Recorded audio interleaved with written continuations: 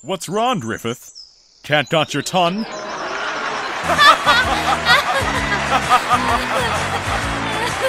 You'll all pay.